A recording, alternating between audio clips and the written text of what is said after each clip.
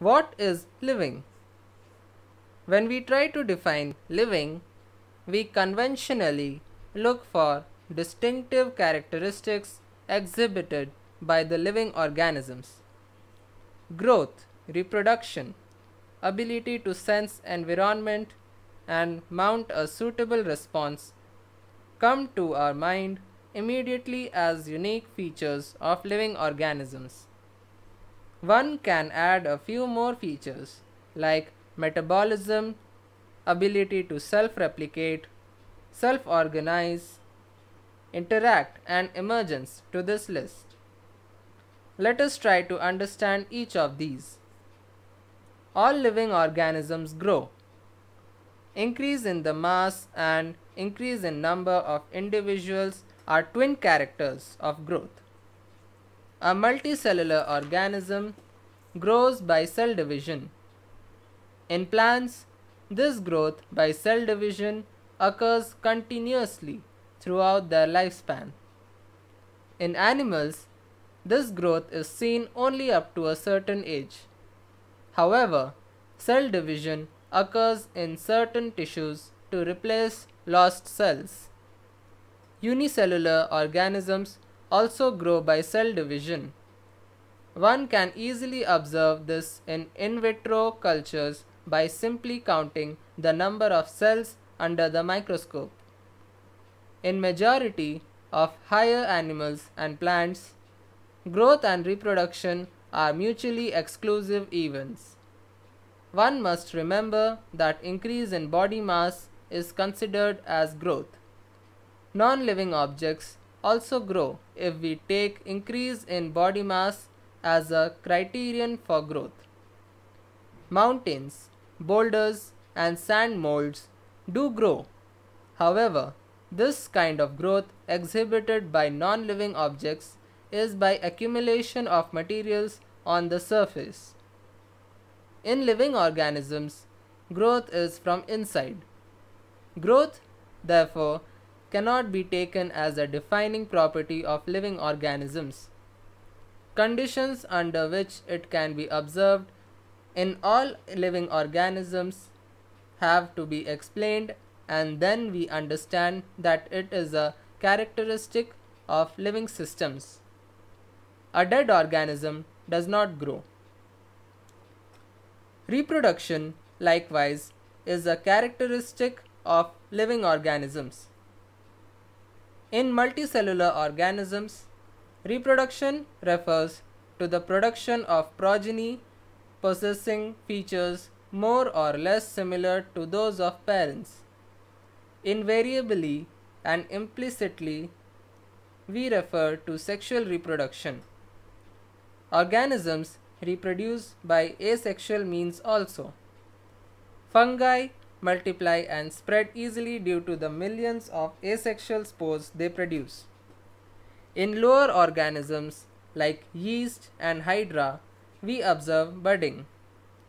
In planaria, that are flatworms, we observe true regeneration, that is, a fragmented organism regenerates the lost part of its body and becomes a new organism. The fungi, the filamentous algae, the protonema of mosses, all easily multiply by fragmentation. When it comes to unicellular organisms like bacteria, unicellular algae, or amoeba, reproduction is synonymous with growth, that is, increase in number of cells. We have already defined growth as equivalent to increase in cell number or mass.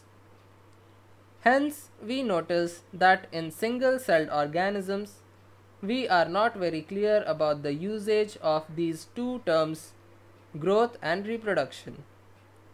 Further, there are many organisms which do not reproduce, like mules, sterile worker bees, infertile human couples, etc.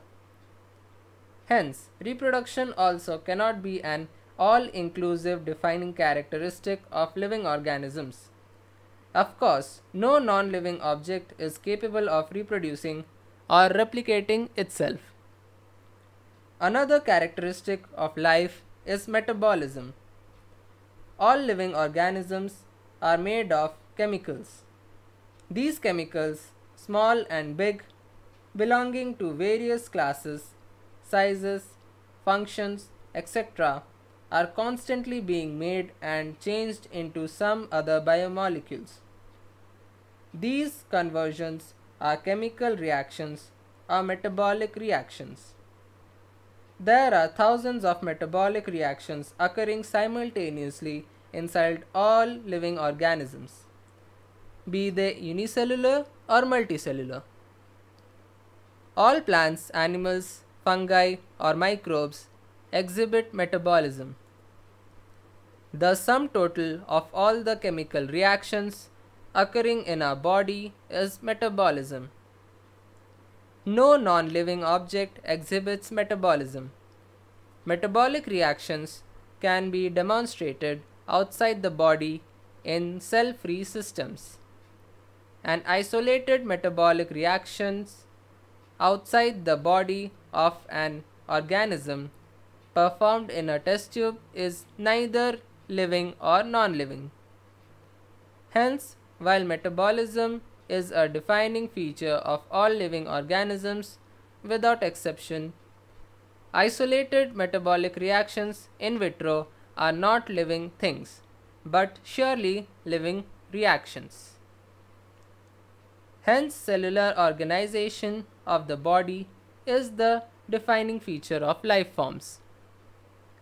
Perhaps the most obvious and technically complicated feature of all living organisms is this ability to sense their surroundings or environment and respond to these environmental stimuli which could be physical, chemical or biological. We sense our environment through our sense organs. Plants respond to external factors like light, water, temperature, other organisms, pollutants, etc. All live all organisms from the prokaryotes to the most complex eukaryotes can sense and respond to environmental cues. Photoperiod affects reproduction in seasonal breeders, both plants and animals. All organisms handle chemicals entering their bodies. All organisms, therefore, are aware of their surroundings. Human being is the only organism who is aware of himself, that is, has self consciousness. Consciousness, therefore, becomes the defining property of living organism. When it comes to human beings, it is all the more difficult to define the living state. We observe patients lying in coma in hospitals virtually supported by machines which replace heart and lungs. The patient is otherwise brain dead. The patient has no self consciousness. Are such patients who never come back to normal life living or non living? In higher classes, you will come to know that all living phenomena are due to underlying interactions. Properties of tissues are not present in the constituent cells but arise as a result of interactions among the constituent cells. Similarly, properties of cellular organelles are not present in the molecular constituents of the organelle but arise as a result of interactions among the molecular components comprising organelle.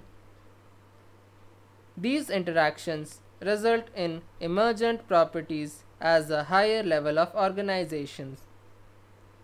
This phenomenon is truly in the hierarchy of organizational complexity at all levels.